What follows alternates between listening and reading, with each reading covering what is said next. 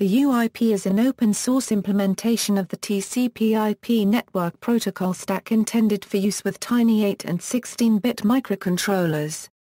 It was initially developed by Adam Dunkels of the Networked Embedded Systems Group at the Swedish Institute of Computer Science, licensed under a BSD-style license, and further developed by a wide group of developers. UIP can be very useful in embedded systems because it requires very small amounts of code and RAM. It has been ported to several platforms, including DSP platforms. In October 2008, Cisco, Atmel, and SICS announced a fully compliant IPv6 extension to UIP, called UIPv6. Implementation UIP makes many unusual design choices in order to reduce the resources it requires. UIP's native software interface is designed for small computer systems with no operating system. It can be called in a timed loop, and the call manages all the retries and other network behavior. The hardware driver is called after UIP is called. UIP builds the packet, and then the driver sends it, and optionally receives a response. It is normal for IP protocol stack software to keep many copies of different IP packets, for transmission, reception and to keep copies in case they need to be resent. UIP is economical in its use of memory because it uses only one packet buffer. First, it uses the packet buffer in a half-duplex way, using it in turn for transmission and reception. Also, when UIP needs to retransmit a packet, it calls the application code in a way that requests for the previous data to be reproduced. Another oddity is how UIP manages connections. Most IP implementations have one task per connection, and the task communicates with the task in a distant computer on the other end of the connection. In UIP, no multitasking operating system is assumed. Connections are held in an array.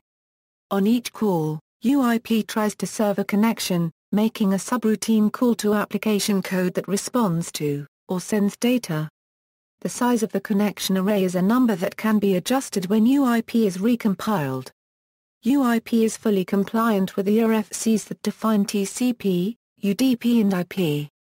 It also implements the mandatory maintenance protocol ICMP.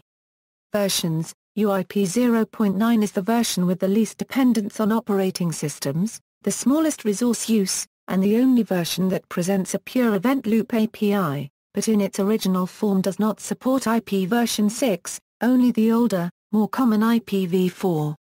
It may be used in embedded systems with very small amounts of resources. It was delivered with a set of examples of higher-level protocols that also run on an event loop system, including HTTP, SMTP, FTP, Telnet, and others. Despite the examples and its small size, UIP 0.9 can be difficult to apply because it does not use any form of socket API. UIP is widely used code with well-known weaknesses.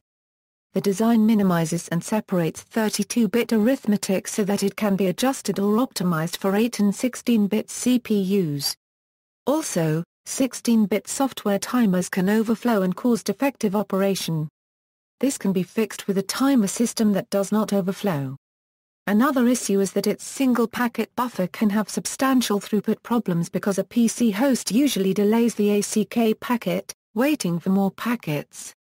In slow, serial port implementations, the ACK throughput can be fixed by modifying UIP to send every packet as two half-packet fragments.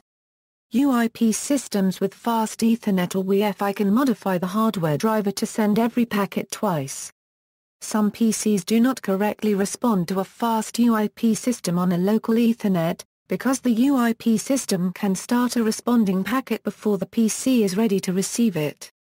The solution is to call the UIP system less frequently in the main loop. Typical implementations of UIP have a fixed IP address, which can make them impractical in real networks, although some have implemented DHCP. Later versions of UIP, including the reference version of UIPv6, are integrated with Contiki, an operating system that uses coroutines for cooperative multitasking. Contiki provides the multitasking needed by a simplified socket API, simplifying the use of UIP. These versions may be less popular than 0.9 however. Many examples of embedded code do not use them. See also, TCP/IP, TCP/IP model, Internet Engineering Task Force, List of TCP and UDP port numbers, LWIP. References. External links, UIP source, UIP port for AVR microcontrollers, UIP-based web server using OpenRISC embedded SoC.